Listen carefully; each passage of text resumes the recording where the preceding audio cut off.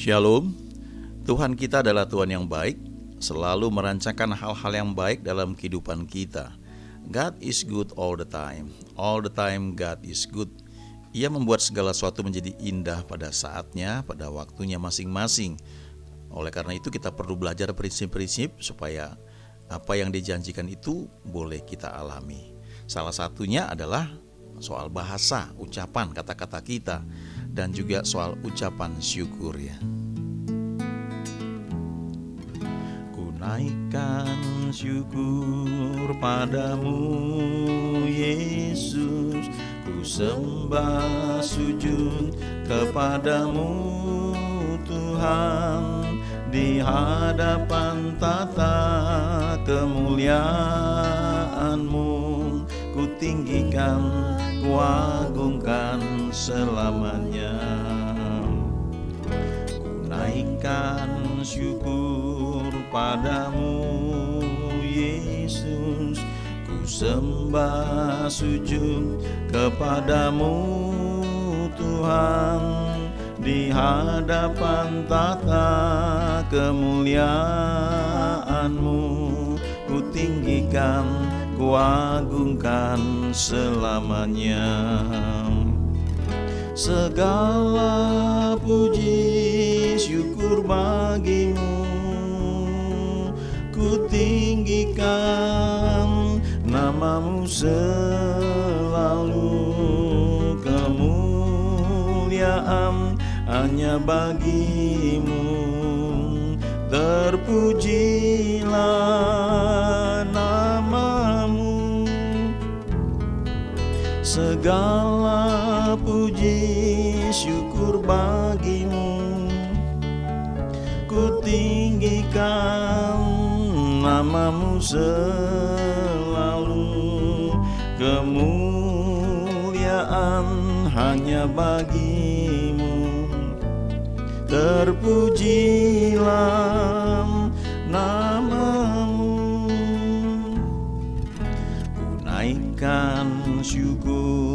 padamu Yesus.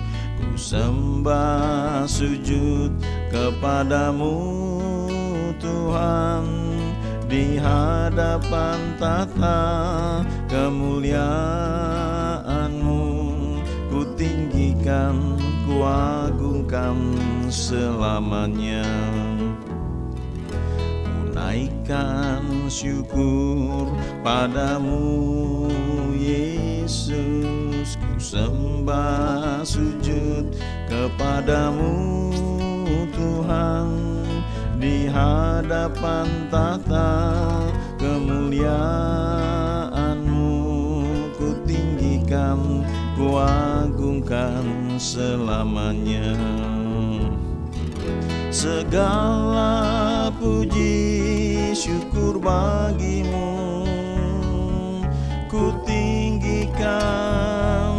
namamu selalu Kemuliaan hanya bagimu. Terpujilah namamu. Segala puji syukur bagimu. Ku tinggikan namamu selalu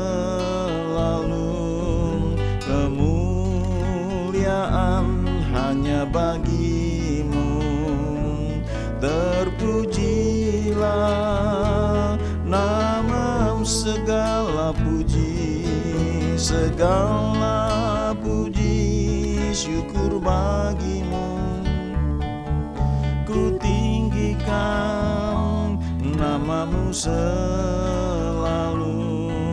Kemuliaan hanya bagimu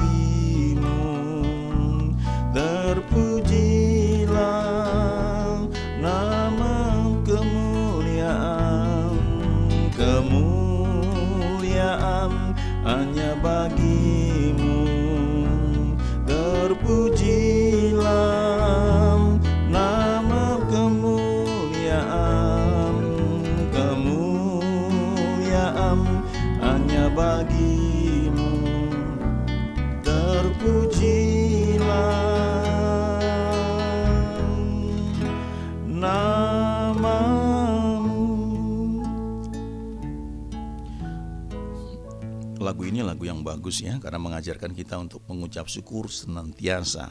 Ucapan syukur adalah salah satu hal yang harus kita lakukan. Karena Alkitab berkata mengucap syukur dalam segala hal karena itu yang dikendaki Allah ya, dikendaki Tuhan bagi kita. Kita akan uh, bicara soal bahasa iman ya. Yohanes 8 ayat 43 berkata, "Apakah sebabnya kamu tidak mengerti bahasaku? Sebab kamu tidak dapat menangkap firmanku." Tuhan Yesus buat banyak mujizat ya. orang-orang menikmati makan roti ya, eh, makan ikan gratis, mujizat demi mujizat, tapi mereka tidak mencari Tuhan untuk belajar kenal Tuhan, mereka cuma mau menikmati makanan jasmaninya saja. Dan itu sebabnya mereka sulit mengerti bahasa atau apa yang Tuhan sampaikan ya di Alkitab itu firman Tuhan di Perjanjian Baru itu ada uh, dua kata yang digunakan, sering digunakan yaitu logos dan rema. Yohanes 8 ayat 43 yang tadi kita baca, apakah sebabnya kamu tidak mengerti bahasaku? Sebab kamu tidak dapat menangkap firmanku ya atau logos dalam bahasa aslinya. Lalu di Yohanes 6 ayat 60 kalau kita baca ya, ini ketika Tuhan mulai mengajar, lalu murid-murid itu mulai protes satu demi satu ya. Sebelum akhirnya banyak di antara murid-muridnya itu undur ya. Di Yohanes 6 ayat 66. Tapi sebelum sampai di situ, Yohanes 6 ayat 60 dikatakan begini. Sesudah mendengar semuanya itu banyak dari murid-murid Yesus yang berkata, perkataan ini keras ya, logos ya, keras. Siapakah yang sanggup mendengarkannya? Uh, logos itu sebenarnya firman yang tertulis ya. Semua firman yang tertulis ya. Yesus juga firman yang menjadi manusia. Jadi kalau kita mau tahu firman Tuhan lihat apa yang dia kerjakan. Karena Yesus itu uh, firman yang menjadi manusia. Nah kalau rema itu firman yang keluar uh, hidupnya tiba-tiba hidup pada situasi tertentu yang spesifik ya. Dan kalau sebelumnya hanya informasi ya dari logos itu itu menjadi pewahyuan ya, menjadi revelation, itu rema. Dan ini yang membedakan ya. Kenapa sebagian orang mengalami kehidupan Kristen yang yang mungkin menarik ya, challenging dan menggairahkan ya. Uh, sebagian tidak ya kalau kita hanya belajar firman ya, kita tahu ya, kita mungkin ngambil gelar doktor ya, no, nggak salah itu. Tapi kalau cuma knowledge ya, kita cuma penuh dengan pengetahuan ya. Dan kita akan ketemu orang ya, beberapa orang suka begitu ya. Oh kamu pakai teologi mana gitu ya. Kalau pakai teologi ini ya, Calvin misalnya, maka cara pandangnya begini gitu. Tapi kalau teologi hmm, kemakmuran misalnya itu beda lagi. Gitu sebenarnya yang membuat pengelompokan itu ya manusia sendiri.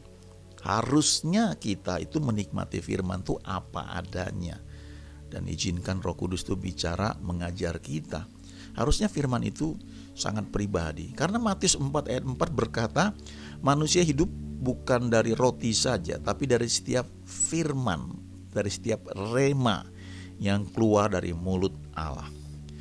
Nah, logos dan rema ya di habis Yohanes ayat 60 ya ketika mereka berkata perkataan logos ini keras siapa yang sanggup mendengarkannya? Lalu di ayat 63 Tuhan berkata rohlah yang memberi hidup. Daging sama sekali tidak berguna. Perkataan-perkataan yang kukatakan kepadamu adalah roh dan hidup. Nah, kata perkataan itu rema dalam bahasa aslinya. Jadi, Tuhan ini mau bilang bahwa kamu perlu rema, kamu perlu firman yang di, diwahyukan, kamu perlu persekutuan pribadi sehingga kamu menangkap kehendakku, bukan hanya kumpulan uh, sistematika teologi ya. Kamu tidak punya hubungan secara khusus gitu. Ya, sehingga firman itu menjadi menjadi hidup ya. Uh, dan ketika Yohanes 6 ayat 66 banyak murid-muridnya mengundurkan diri, lalu Yesus bertanya kepada 12 muridnya, kalian gak pergi juga ya? Lalu Yohanes 6 ayat 68 jawab Simon Petrus kepadanya, "Tuhan, kepada siapakah kami akan pergi? Perkataanmu ya, rema adalah perkataan hidup yang kekal." Jadi kenapa 12 orang ini tidak pergi, tidak undur? Karena mereka sudah dapat rema, kenyang. Mereka menikmati pewahyuan demi pewahyuan. Mereka menikmati kehidupan itu mengalir waktu Tuhan berkata-kata kepada mereka mereka bukan seperti orang yang sedang belajar, kuliah, mencatat, cuma memenuhi otak mereka saja, tapi mereka dapat pewahyuan demi pewahyuan ya. Logos dan rema itu uh, dua hmm, kata Yunani ya. Kalau logos itu firman yang tertulis ya dari Tuhan, rema itu firman yang diucapkan ya, pewahyuan dari firman Tuhan ya. Kalau dalam bahasa uh, Hebrunya bahasa Ibrani dafar ya. Kreatif and uh, spoken word. Jadi itu firman yang yang yang berbicara. Nah uh, ini membuat uh, roh kita itu dikenyangkan dapat makanan gitu ya. Dulu saya ingat ya ada hamba Tuhan yang kalau dia khotbah kadang-kadang tidak terstruktur dengan baik ya tapi pulang kebaktian itu kita merasakan kenyang bukan pikiran kita yang diisi ya, tapi roh kita tuh disegarkan. Dan memang Paulus bilang kepada surat uh, kepada jemaat yang dia layani, ya, ada orang-orang tertentu yang menyegarkan roh kita ya. Itu refresh our spirit ya, mengaktifkan roh kita, menyegarkan roh kita. Itu persekutuan yang kayak begitu yang membuat kita bisa menyala-nyala ya, melayani Tuhan ya itu memberikan kita kepastian, keyakinan bahwa yang kita sedang uh, nantikan itu sedang terjadi dan mujizat pasti terjadi. Iman itu timbul karena rema ya. Uh, faith comes by hearing ya. Iman timbul karena pendengaran dan pendengaran oleh firman Kristus. Kata firman itu rema. Jadi kalau kita mau berdoa dan percaya mau ada mujizat, kita mesti sediakan waktu bersekutu dengan Tuhan sampai firman yang kita baca itu menjadi rema. Ya. Kadang-kadang kita lari sana lari sini minta didoain orang ya, enggak salah juga sih. Ya. Kadang-kadang kita butuh orang untuk untuk mendoakan kita, tapi kan kita perlu pertumbuhan. Kita perlu belajar menggali sendiri ya. Kita perlu pegang janjinya itu. Kita perlu belajar makan makanan rohani seperti yang Tuhan bilang di Matius 4 ayat 4 itu. Manusia hidup bukan dari roti saja, tapi dari setiap firman, dari setiap rema yang keluar dari mulut Allah. Nah, untuk itu mau nggak mau kita harus jaga pergaulan kita, ya. 1 Korintus 15 ayat 33 berkata, "Janganlah kamu sesat, pergaulan yang buruk merusakkan kebiasaan yang baiknya." Mungkin kita punya teman-teman, mereka nggak jahat ya, mereka baik semuanya, tapi eh, perkataan yang diucapkan ya itu mungkin lebih banyak diisi dengan kritik ya, ketidakpercayaan, selalu negatif thinking ya. Ada eh, beberapa grup WhatsApp yang saya lihat ya seperti itu ya. Tentu kita ikut beberapa grup kita pilih juga ya. Kalau terlalu banyak ya susah juga kapan dibacanya. Ya saya setiap hari itu ada banyak sekali WhatsApp yang nggak kebaca ya tapi kadang-kadang kita ikut di situ supaya kita tahu perkembangan tapi kalau kita ikutin terus ya kadang-kadang sering kali bahasanya itu nggak nggak menolong kita untuk untuk bertumbuh secara iman kalau kita mau bertumbuh dalam iman kalau nggak mau ya itu pilihan gitu. Tapi firman Tuhan berkata pergaulan yang buruk merusakkan kebiasaan yang baik. Bahasa Inggrisnya ya, don't fool yourself, bad friends will destroy you. Teman-teman yang jelek akan menghancurkan kamu. Kita perlu pilih ya secara khusus ya. Jangan uh, nanti uh, ketemu orang yang apatis ya, nggak nggak punya pengharapan. Nah itu nggak bagus ya dulu waktu saya kuliah ada masa itu tugas begitu banyaknya itu masa-masa jahiliyah istilahnya maksudnya itu aduh ya eh, dosennya jarang datang ya tugas numpuk dan bisa sampai eh, ngerjain sampai malam sampai pagi lagi ngerjain tugas. Beberapa teman tuh kalau udah ngerjain tugas karena kalau tugas nggak selesai nggak boleh ujian ya. Akhirnya udahlah gue drop nih gue drop kuliah ini. Drop artinya nggak udah dibuang aja nanti tahun depan ngambil lagi gitu ya. Nah itu ada lingkungan yang kayak begitu mempengaruhi itu. Yang lain juga ya udahlah kita udah tahun depannya ambil lagi lah gitu. Itu pengaruh sekali ya. Kalau kita memilih orang-orang yang punya positive thinking ya kita akan ketarik untuk maju terus ya. Terus terjemahan dari Darby ya. Be not deceived evil communication corrupt good manners ya. Jadi ini uh, pembicaraan atau komunikasi komunikasi yang jahat ya. Itu uh, menggerogoti uh, cara hidup atau sikap-sikap hidup yang baiknya be not led astray ya. Jangan sampai kamu uh, ditipu atau kamu nyasar ya evil communication corrupt good manners ya. Jadi sekali lagi ini masalah komunikasi ya. Kita perlu jaga ya cara ngomong ya di lingkungan tertentu.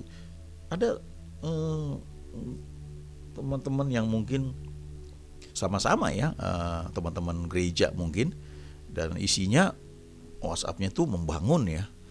Ada yang yang uh, isinya buat uh, ya uh, happy happy aja ya nggak salah juga ya tapi ada yang cenderung negatif ya. Di situasi seperti sekarang saya pikir banyak hal kita bisa mengucap syukur ya. Kita lihat misalnya uh, ketika pandemi dari tahun lalu ya diputuskan uh, apa uh, vaksinasi gratis ya. Itu luar biasa sekali. Kemudian ekonomi tetap bisa berjalan ya. Coba lihat hal positifnya di situ. Jangan lihat yang negatifnya kritik terus wah ini salah nih pemerintah salah itu sebenarnya terlepas dari pemerintah salah atau enggak tapi evil communication itu menggerogoti kita ya perkataan-perkataan yang negatif itu entah benar entah salah itu menggerogoti iman kita. Harus kita jaga ya. Betul-betul uh, pergaulan kita. Show me your friends and I'll show you your future. Ya, tunjukkan teman-temanmu dengan siapa kamu bergaul dan saya akan kasih tahu bagaimana masa depan kamu. Ada seorang yang uh, kaya sekali ya, hmm, pernah diwawancari sama seorang wartawan. Ditanya kalau kamu jatuh miskin kira-kira uh, bapak ya kalau bapak jatuh miskin bapak akan apa yang dikerjakan? Kalau dia bilang saya akan kerja sebagai waiter di restoran tempat orang-orang kaya itu makan oh kenapa pak apa tipsnya besar ya ya kalau orang tua apa orang-orang kaya makan kan ngasih uh, tips besar mungkin buat para waiter ya para pelayan oh bukan saya akan ada di atmosfer orang-orang yang positif thinking ya. Mereka ngomong dengan hal yang positif ya. Kalau kita perhatikan, ada orang-orang yang sudah kaya makin kaya. Di situasi yang sulit mereka tetap bisa naik terus. Itu sebenarnya salah satunya itu adalah cara berpikirnya, cara ngomongnya itu ya. Tentu ada hal-hal yang perlu dilakukan. Tapi kalau kita selalu negatif thinking ya, sulit ya. Kita bisa Uh, bertumbuh. Iman juga begitu. Kalau kita mau meraih janji Tuhan, meraih kesembuhan, baca buku-buku yang memang memberi makan roh kita. Ya, dengar hamba Tuhan yang khotbah yang memang memberi makan roh kita. Sebagian yang kita dengar bukannya nggak bagus, tapi hanya mengisi pengetahuan kita. What for? Ya, buat apa gitu? Ya perlu juga sih kita tahu misalnya kita membaca beberapa hal itu bagus. Oh, ini maksudnya begini. Tapi apakah itu memberi makan roh kita? Apakah itu membuat kita mendapatkan pewahyuan secara pribadi dari Tuhan buat kita? Apakah itu menimbulkan iman buat kita bisa menarik apa yang Tuhan janjikan bagi orang percaya? Amsal 13 ayat 20 berkata, Siapa bergaul dengan orang bijak menjadi bijak. Tapi siapa berteman dengan orang bebal menjadi malang ya. Jadi bergaul dengan orang bijak membuat kita menjadi bijak ya. Uh, dulu saya pernah kerja di satu perusahaan ada satu uh, kepala biro ya seorang seorang ibu yang sudah sudah cukup berumur ya uh, jadi waktu kalau dia tuh dipanggil sama direktur ya, ditegur tentang satu hal, kesalahan dia, dia suka marah, dia nggak terima ya. Jadi kalau habis dimarahin begitu, dia keluar dari ruangan direktur, dia cari anak buahnya, anak buahnya lari semua. Kenapa? Karena dia baru dapat baru dimarahin itu langsung dia mau transfer mau marahin anak buahnya semua. Jadi dalam waktu singkat aja ya ada ayatnya ya, kamu bergaul dengan orang pemarah kamu akan akan ketularan seperti itu. Ya. Jadi eh, jaga dengan baik dengan siapa kita bergaul. Ini eh, perlu usaha ya. Saya juga belajar. Dulu itu saya cenderung gampang sekali nilai orang menghakimi orang. Ya oh ini udah nggak sungguh-sungguh ini doanya ah gimana begini kayak saya nggak nggak pantas lagi dipanggil sebagai abang dan sebagainya. Belakangan saya belajar Tuhan terima orang itu apa adanya. Ya kenapa kita mesti uh, menilai dengan cara pikir kita ya dan tanpa sadar ukuran yang kita pakai itu balik kepada kita ya itu perlu kita ingat. Mazmur 1 ayat 1 sampai dengan 3 ya. Alkitab berkata, "Berbahagialah orang yang tidak berjalan menurut nasihat orang fasik, yang tidak berdiri di jalan orang berdosa dan yang tidak duduk dalam kumpulan pencemooh." Tetapi yang kesukaannya ialah Taurat Tuhan dan yang merenungkan Taurat itu siang dan malam.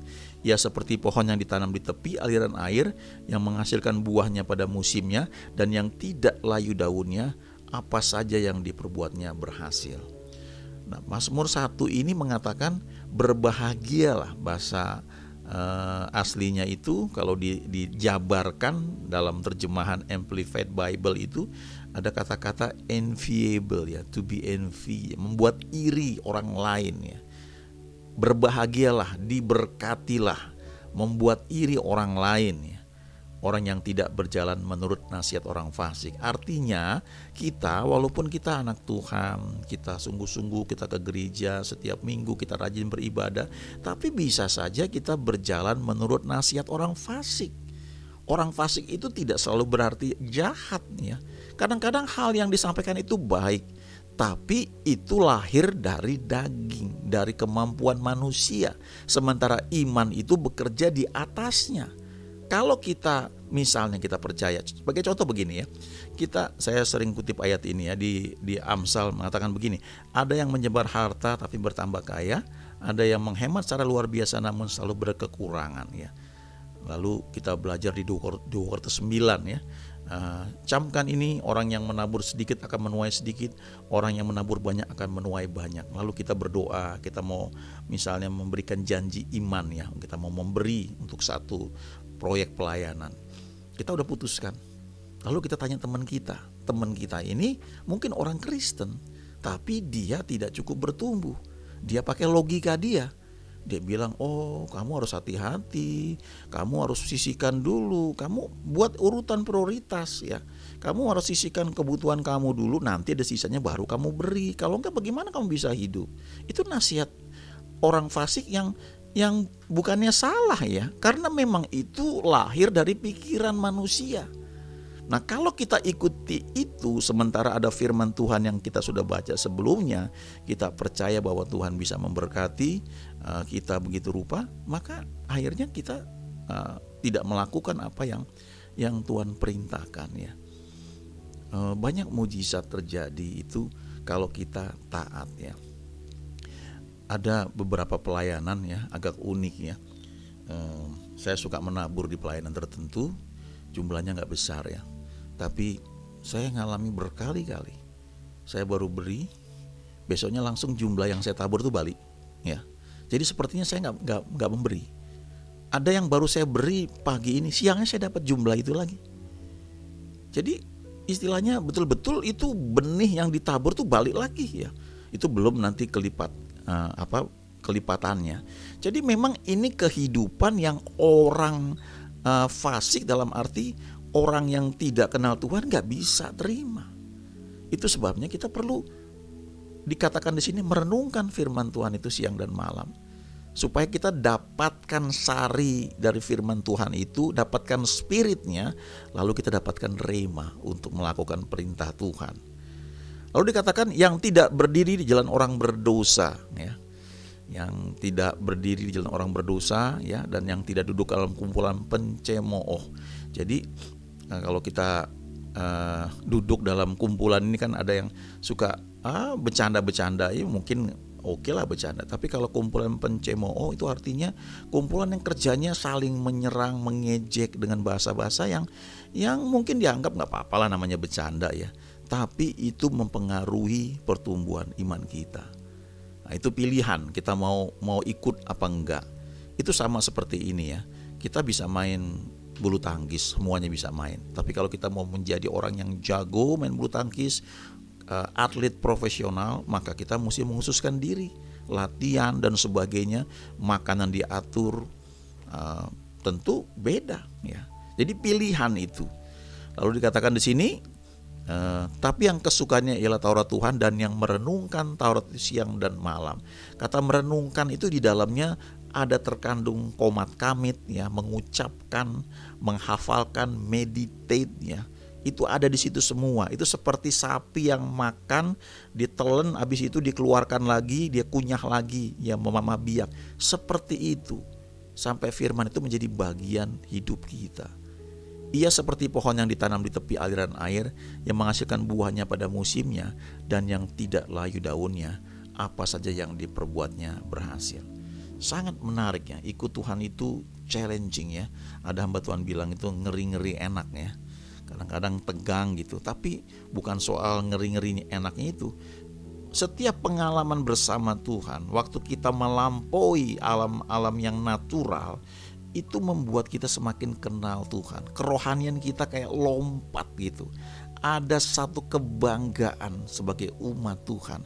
Ada satu kekaguman akan Tuhan bahwa Tuhan itu hebat Tuhan itu luar biasa dan saya bersyukur saya boleh kenal dia ya Eh, apa yang membedakan kita dengan orang lain? Kalau kita beribadah kepada Tuhan lalu kita ngalami sama seperti orang lain, ya apa bedanya? Apa fungsinya? Ya. Padahal Tuhan yang kita layani adalah Tuhan yang hidup. Ya, belajar untuk uh, mengambil apa yang Tuhan sediakan lewat merenungkan firman-Nya sehingga apa yang dijanjikan itu boleh terjadi dalam hidup kita. Amin. Kami mengucap syukur untuk hal yang kami baca, kami dengar, ajari kami lebih jauh lagi kami boleh berkata, God, you are good all the time. Tuhan, Engkau baik senantiasa. All the time you are good. You make all things beautiful in its time. Engkau buat segala sesuatu menjadi indah pada waktunya masing-masing. Terima kasih Tuhan. Dalam nama Yesus kami sudah berdoa. Haleluya. Amin.